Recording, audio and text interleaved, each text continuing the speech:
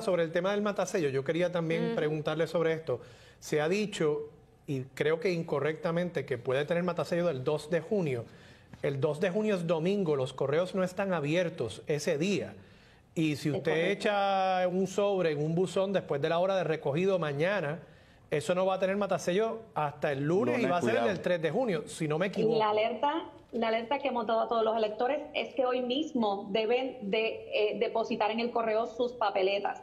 De lo contrario, no van a tener el matasello del 2 de junio, porque el servicio postal, su último recogido, la puede hacer entre 9 y media a 10 de la mañana y no va a tener ese matasello. Wow. Y si no tiene matasello, no lo podemos O adjudicar. sea que es importante también puntualizar que si le llegó la papeleta y no la deposita hoy viernes, mejor que no, no la deposite porque si lo hace mañana al mediodía que vaya o después de la tarde, esa papeleta no va a tener el matasello del 2 de junio eh, y no van a poder la Pero contabilizar. podrían, podrían ir al correo, pero es que el correo no abre el 2 de junio. O sea, no hay tal cosa como un matasello con fecha del 2 de junio porque el correo no abre. Correcto. No, no, es, hasta Pero mañana. la otra opción, la otra opción es utilizar el buzón que nosotros habilitamos en la Java, previendo todo este tipo de controversias que también ocurrieron en el 2020. Ese, ese buzón en la Java eh, es en San Juan, en Jato Rey, como tal. O... En San Juan, Atorrey, en la Java PNP, es donde único nosotros tenemos